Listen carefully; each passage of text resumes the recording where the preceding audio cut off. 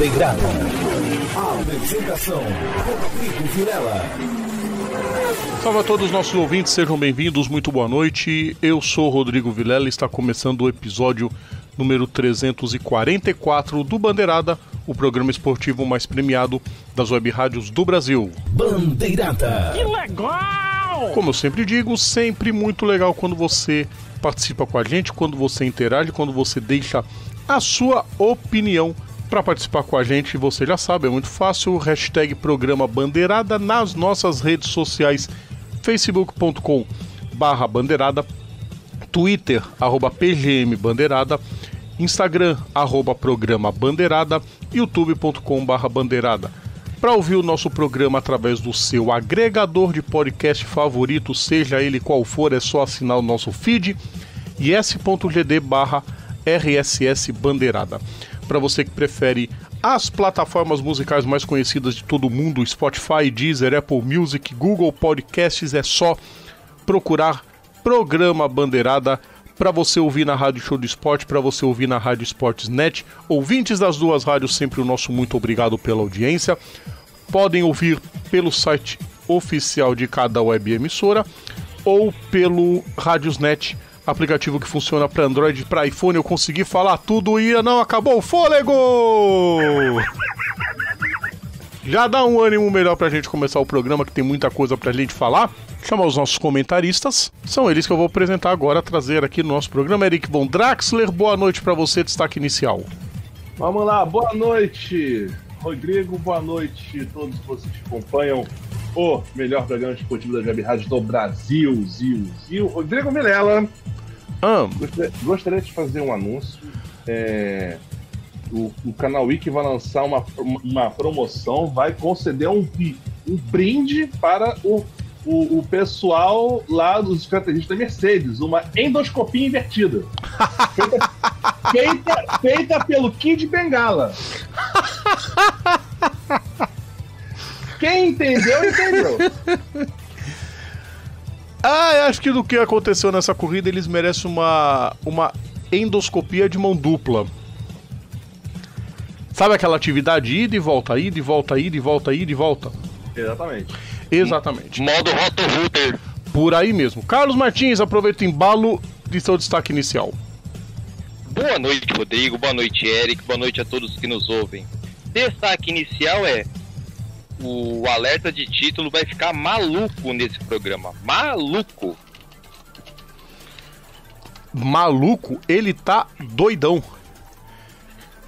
Vamos fazer o seguinte, então, né, povo? Vamos começar o programa. Nós já temos aí encaminhados nossos quatro primeiros minutos dessa edição 344. Então não resta outra coisa pra gente a não ser começar com a Fórmula 1. Fórmula 1. Grande Prêmio de Sakir, disputado no anel externo do Bahrein.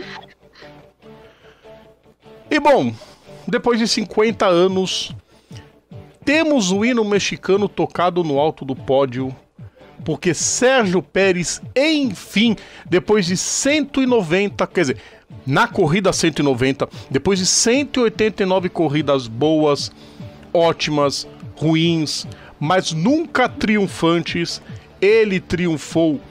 Estava no momento certo, na hora certa, numa corrida esplêndida, Carlos Martins. Esplêndida, espetacular. Cara, na- se falassem pra ele no fim da primeira volta, Tcheco, fica de boa que no final a vitória é sua. Ele, ele mesmo iria falar: ah, você tá de sacanagem, você tá brincando comigo, cara. É, tá tirando onda, tá tirando ondinha, só ia eu cantar terra samba pra, pra Bem cantar. assim. É, Ah, deixa. e sem contar que pódio totalmente insano. É, dá- dá- deixa eu chamar o Eric só pra eu saber o que que. Eric, o, eu usei uma palavra, né? Espetacular. O. Carlos, qual foi a palavra que você usou, Carlos, pra falar da vitória do Insano. Pérez? Insano. E você usa qual? É mítico! Muito mas, mítico. mas, mas, ô, ô, Rodrigo, é, mas realmente, cara, mas é mais insano mesmo, porque é, eu acho que em circunstâncias normais a gente nunca ia imaginar que ia ter um pódio com duas Racing Points e, um, e, uma, e uma Renault entre eles. Ainda mais sendo Ocon. Não é Richard, não, é Ocon. O Ocon tava no outro momento certo, na hora certa, primeiro pódio dele. Bom, é, sobre o Ocon eu tenho uma coisa a dizer. O Ocon, ele é. Ele fez nessa corrida o que todo mundo espera dele. É, partiu pra cima. Não, não foi aquele piloto passivo que fica quietinho no canto dele esperando alguma coisa. É, ele foi e foi pra cima nas disputas de posição, endureceu nas ultrapassagens que levou. Mas é claro, né, queridos ouvintes, queridos comentaristas, a coisa não seria a mesma se a Mercedes não tivesse feito atrapalhada da década. Você entendeu Cara, agora? espera- porque esperaria-se isso de qualquer equipe, não da Mercedes. Rolou um papo de que tava a Netflix filmando, né? O. Não, rolou um papo não, a Netflix estava filmando. Ah, tá explicado.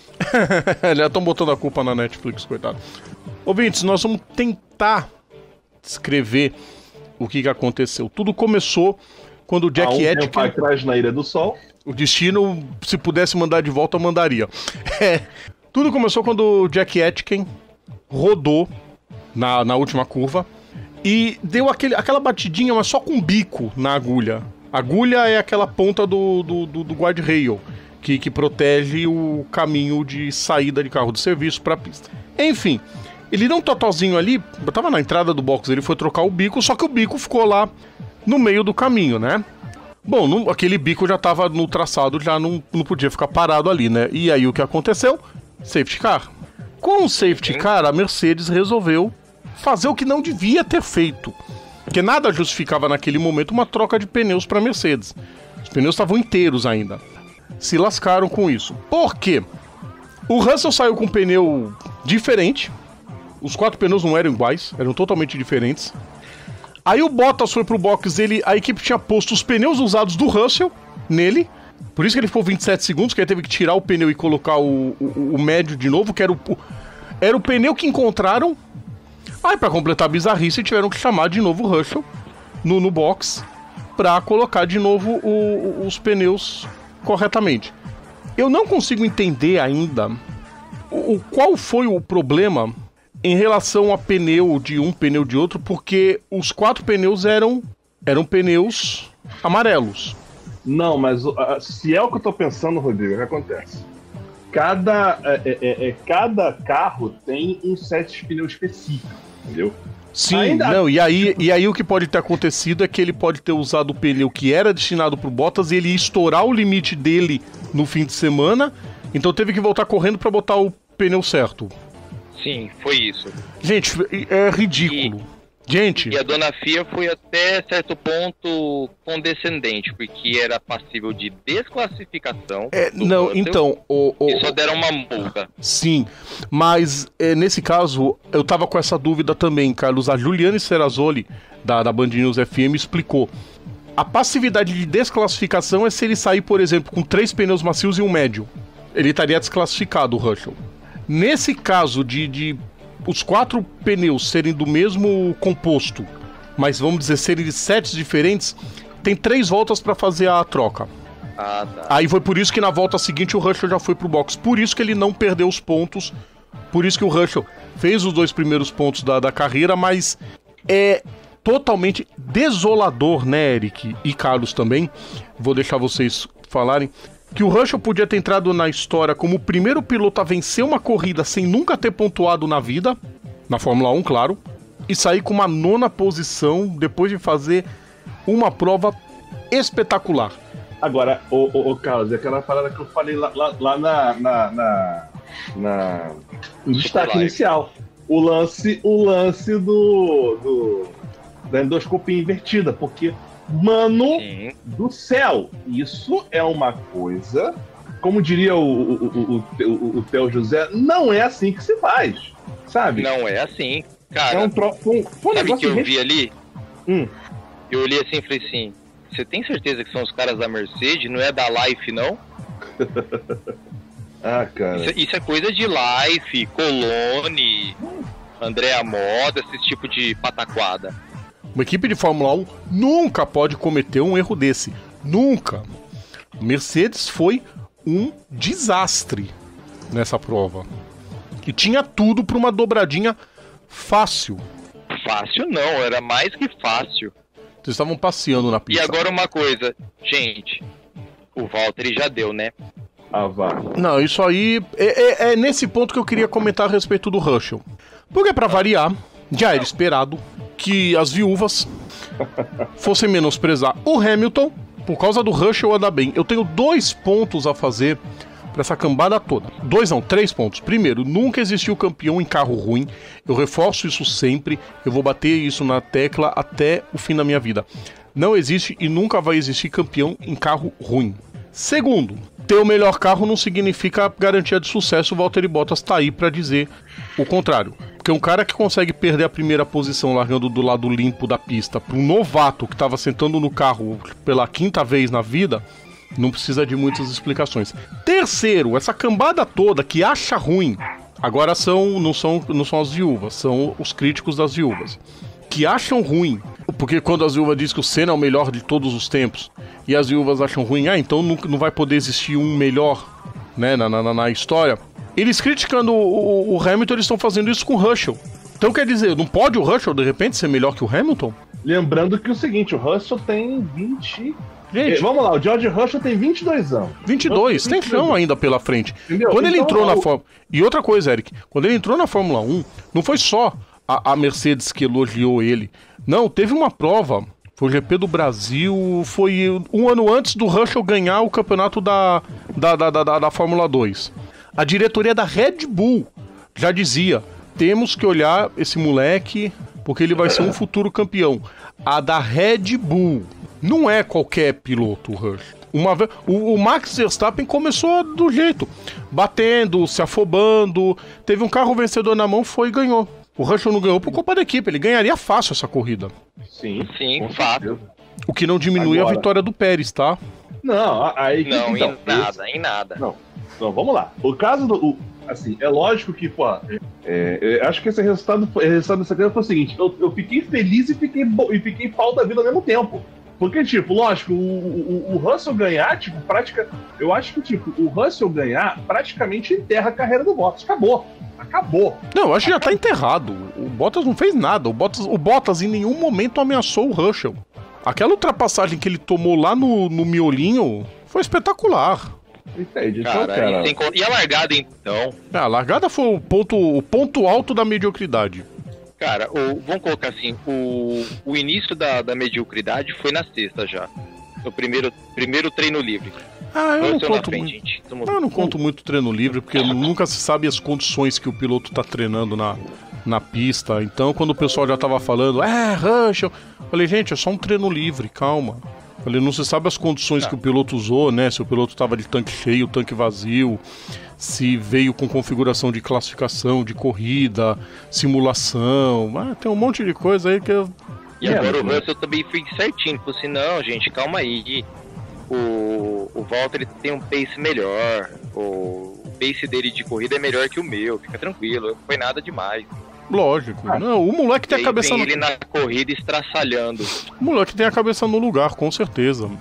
Isso, isso pode ser o divisor de águas na carreira do Russell. Foi, com certeza. Ah, E, e assim, e outra coisa, é aquela. e, tipo, ficou aquela coisa, tipo. Ah, o. E, e, tipo, essa história toda que o pessoal fala, ah, o vegano só ganha por causa do carro. É. Não é bem tempo- assim. Não, pera aí. Sim, e ao mesmo tempo, não. Por quê? Sim, porque, de fato, ele só. O, o- o- assim, o, é, é aquela coisa que o pessoal fala, ah, porque o Hamilton nunca correu com um carro de equipe pequena, que não sei o que e tal. Bom, o Hamilton penou com a McLaren nos anos. É, lá- 10, 11, 12, quando a McLaren tinha, sei lá, o terceiro, o quarto melhor carro do grid, o Hamilton ganhava a corrida e disputava título. Uhum, é a McLaren. É, não dava Agora. pra. Aí acontece. é, Quer dizer, mas com aquela parada, lógico, o, o- cara, o cara tem um carro que, mano do céu, é a Mercedes, lógico, lógico que o cara vai fazer alguma coisa. Só que o companheiro dele, com equipamento igual, não consegue tirar o mesmo potencial do carro.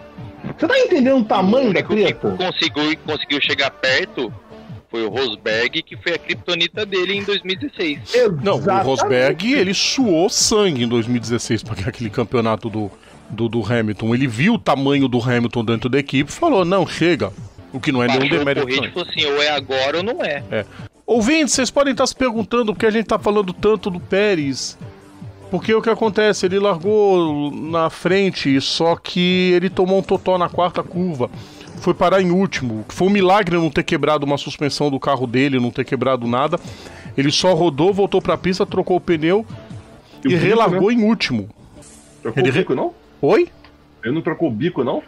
O Pérez? Não, não chegou É? a trocar. O Não, Leclerc não bateu na lateral trocar. do carro. Não danificou nada no carro do Pérez. Verstappen acabou escapando logo na primeira curva. O Leclerc foi junto, claro. Ele ficou. Não, o- não, o Verstappen escapou porque o Leclerc escapou. Ele ficou preso. Sim. É, Então, foram na quarta curva também. havia o- o suspeita, é, havia suspeita que o que o Leclerc na escapada, né, depois que ele tinha batido e a suspensão quebrado, aquela escapada do Leclerc, ele tinha furado o pneu do Verstappen, não se confirmou. O Verstappen acabou escapando mesmo e bateu. Erro total do Leclerc, o próprio assumiu isso. Vocês falaram do pódio do Ocon, sensacional. Lance Stroll também fazendo uma corrida muito boa, de novo, Apesar Agora. do mimimi no fim da prova. normal. Agora, posso, agora, eu vou falar uma parada pra vocês que eu tava comentando até no grupo da Super, do, do- da Super Live também. Hum, Eu, eu, eu lembro que eu, eu, lembro que eu, quando eu tava vendo a corrida andando e você, e, e você considerando que o, o que acontece? O pessoal já. acho que foi até o Carlos andou cutucando que já tem a dupla para 2022, o, o Hamilton e o Jorginho. Aí, Sim, fui eu. aí, aí eu cheguei e completei. Isso se a Mercedes não resolveu antecipar isso. Porque, como eu sempre falo no Bandeirada, contratos existem para ser rasgado. Exatamente. Então, o que acontece? E parafraseando o que você também coloca, essa Ah. frase by minha autoria, Money Talks. Não digo nem Money Talks, o. o, o- Cara, o Money Talks pode ser esse ano. Eu- eu- não, não duvido ainda. Não duvido do Hamilton chegar e falar cansei, tchau. Não Eu- eu acho- duvido. não, assim, eu. Eu, assim, eu não acredito, mas se ele fizer isso, eu vou compreender. Entendeu? Ô, Largar tudo, chega, quero curtir a vida. Repito, acha- eu não acredito. É, não, é, não, não, é, não é, não, não é, é, é- não é, não é, é, é- né, enfim, é possível, eu sei, entendi, mas tipo, o que, eu, o que eu falo nessa brincadeira é o seguinte, é, você imagina, por exemplo, agora também é o seguinte, o Hamilton e o Russell dividindo equipe, né, ou já, tipo assim, já preparando uma passagem de bastão também. Opa, olha a audácia do Eric aqui. E outra também, é, enquanto isso, lá do, dos lados rubro-taurinos, né, temos um certo mexicano que tá a pé, mas, mas, depois de desta corrida, E depois de mais uma corrida sem brilho do álbum, amigo, amigo, o, o- o- eu tô achando que eu tô achando que o, o alemão caolho vai ligar o moedor de cada do taurino e vai e vai e vai botar o tailandês na, e vai botar o tailandês lá dentro. vamos Pro- ver porque não- Não duvide se ele não for pra uma super fórmula da vida. E olhe lá. Quem o álbum? Sim. Eu não, e assim, eu não, é, tipo assim, imagina Sérgio Pérez, é que assim, é a única opção plausível. Ou ele, ou ele vai pra Red Bull ou ele vai pra casa. Não, o Pérez é isso. E o Pérez, Ele já com falou, ou é Red Bull ou é falou. casa. Sim, ele falou. Com essa vitória eu, tô- eu posso ir embora de, de alma lavada, com tranquilidade. Ele, Sim, tá, com ele disse que tá em paz com essa Isso. com essa vitória. vitória. Com certeza, com certeza. Povo, pra gente ainda- encerrar Fórmula 1 e poder ser se depois comentar alguma coisinha, mas deixa eu fazer a última pergunta. A estreia do Pietro Fittipaldi. Que ele vai correr em Abu Dhabi de novo, tá, pessoal? Ouvintes, o Grosjean não corre mais, a carreira do Grosjean da- da Fórmula 1 acabou. Ele não vai correr em Abu Dhabi e ele não tá na Fórmula 1 no ano que vem. A Haas já confirmou Mick Schumacher e Nikita Mazepin como seus pilotos. Daqui a pouco a gente fala de Fórmula 2, mas Aliás, Queria saber Porra. do Eric e do Carlos o que, que eles acharam da estreia do Pietro Fittipaldi. cara, fez o que deu pra fazer, cara. Fez o que deu pra fazer. É lógico, tipo assim, é como- tudo bem que já- o carro dele já tava, já, já tava, já tava bugado porque tinha que trocar peça e, e com isso teve- já teve que largar no final do grid. Quer dizer, aprendizado, cara. XP. E outra e- e agora, agora, essa parada que você falou do Schumacher e do Mazepin, aí, aí, aí eu vou ter que da- dar uma conversa com vocês que estão ouvindo o programa. Foi hoje, hoje de manhã, o, o nosso apresentador, é, meio que, a gente meio que deu um toque assim, porque durante o programa, nesses últimos programas recentes, escapou um, PG, um, termos que não, não se enquadram no PG-13, é, e a gente precisa se policiar com isso. Aí a primeira coisa que o, que o, que o Sacripanto aqui resolve me mandar, Nikita, Maze, Nikita Mazepin na, na rádio. Fazer o quê?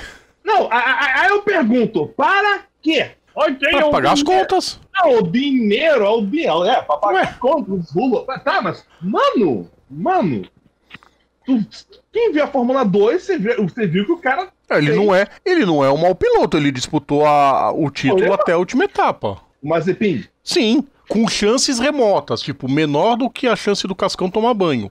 Mas ele disputou o título até a última etapa. Foi, não é tão. Ele não é tão grosso assim, ele não é o Marcos Ericsson da vida. Não, Marcos Ericsson é E uma coisa, referente ao Mazepin, o que acontece, essa dupla da raça? Por um lado, os vodka dólares, falando mais alto, e a outra, aquela velha máxima. Meu motor, meu piloto. Aí, qualquer um de vocês vai falar assim: ah, é o campeão da Fórmula 2. Concordo, porém o próprio Gunther Steiner, diretor da Haas, falou: a Ferrari indicou o Mick, não teve nem o que falar. Sim. Para bom entendedor, meia palavra meia basta. Meia palavra né? basta. E quem sabe um dia isso pode mudar se a Ford for para a Fórmula 1. A, Form a Ford disse: o dia que mudar esse regulamento de motor, a gente volta. Sim. Por, enquanto, a Cosworth tá, começa flirts, mas nada garantido. É, exatamente. Classificação do campeonato: Lewis Hamilton já campeão, claro, 332 pontos. Valtteri Bottas 205, Max Verstappen 189. Bottas poderia ter sido vice-campeão nessa prova, não foi. E ainda tem uma boa margem para a prova de Abu Dhabi semana que vem, que encerra o campeonato 2020. Você da... sabe que isso não quer dizer nada, né? Do quê? Ele, ele tem margem para. Não, eu apenas disse um fato. Ele tem margem. Eu não falei não, que ele está depois, confortável para ser campeão. Não, pois é, mas depois, mas depois de, dessa corrida. É, ah, tem... só que é o Verstappen que está batendo mais do que. Tá batendo mais que o Mike Tyson. Oh, oh, oh. Tá, tá complicado o Verstappen, pelo amor de Deus, né? O De Césares 2 não. Desse jeito não dá. É, mais alguma coisa de Fórmula 1? A De Césares é, é, mito, né, pô? Sim. Vamos girar a chave então, pessoal. Vamos, eu vou botar outra vinheta só para não ficar esse silêncio, porque teve título. Monopostos. Teve título, claro que a gente tem o nosso alerta de título. Mick Schumacher campeão da Fórmula 2. Chegou no Bahrein para as quatro corridas do Bahrein, né? As duas da semana passada, as duas essa, na liderança do campeonato. Manteve agora para a rodada final no anel externo. E, bom, Vou dividir pelas corridas, tá, queridos ouvintes? Primeiro, na primeira corrida, a gente teve a vitória do Yuki Tsunoda. Aliás, não foi uma vitória, foi uma exibição de gala. O japonês anda muito, e isso porque botavam fé no Marino Sato. Ah, que como o Marino Sato não é piloto de academia, ele não consegue equipe boa, né? Não, ele não consegue equipe boa, é minha crítica. Hoje na Fórmula 1 só entra se for de academia ou se for endinheirado. Piloto comum não tem mais chance nenhuma na Fórmula 1, por isso que, por exemplo, o Nick De Vries vazou para a Fórmula E. Bom, vitória do Tsunoda. O Guan Yu foi o segundo colocado com punição. Ele conseguiu manter a segunda colocação, mesmo com 5 segundos de punição. Terceiro lugar era do Nikita Mazepin, só que o Nikita Mazepin tomou 10 segundos de punição, duas de 5 segundos, porque ele jogou o próprio Tsunoda para fora da pista antes dos pitstops e jogou o Drogovic três vezes para fora da pista nas últimas duas voltas. Foi punido merecidamente, chiou, não adiantou chiar. O Drogovic leva um pódio. Pedro Piquet décimo, fez um pontinho. Guilherme Samaia, vigésimo segundo. O Guilherme Samaia nessa prova foi muito mal. Ele tomou volta até do San Gelael. Ele só não tomou volta do Roy Nissany, que seria demais. Na segunda corrida, a disputa estava muito favorável ao Mick. Só que ele teve problema, teve que trocar os pneus.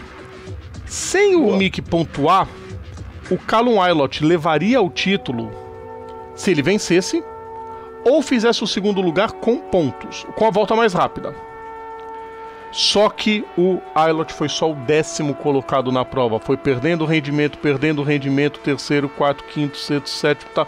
Foi parar lá atrás o título tranquilo pro Mick Schumacher Vitória de Jean Daruvala, primeira vitória da Índia desde 2008, quando Karun Chandok venceu pela venceu em Spa-Francorchamps 2008. Oi? Quem é Karun Shandok? Karun Shandok, piloto que foi pra. Não, eu sei, eu sei. eu- Cara, ele é bom piloto. Ele só não teve nenhuma chance na Fórmula 1, mas hoje, ele. hoje ele é piloto do Top Gear só. E de turismo ele é um grande piloto, o, o, o. Karun Shandok. Muito, muito longe de ser só um piloto pagante nesse planetinha. Tsunoda de novo em segundo, depois de um duelo. Aliás, o duelo do Daruvala com o Dan Tickton foi sensacional. O do Tsunoda com o Dan Tickton foi outro sensacional. O piloto da Dance terminou na terceira posição. Carlos comentou que talvez o Dan Tickton perdeu o bonde da Fórmula 1. Não é nenhuma. Ele se livrou da Red Bull. Ele, tá, ele tem que estar feliz.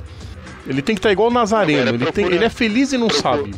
Sim, procurar agora a felicidade dele em outras categorias. Ele ainda tem é mais. Ele ainda tem mais dois anos de, de, de Fórmula 2. Porque na Fórmula 2 você só pode correr quatro anos. Então, por exemplo, o Sanjay Lael fez a despedida dele da categoria. Não pode mais correr nada. tarde. É, existe grandes chances dele parar em alguma das categorias de, de, de, de endurance. Sim. Mas vai ser difícil, o Sanjay Lael é ruinzinho.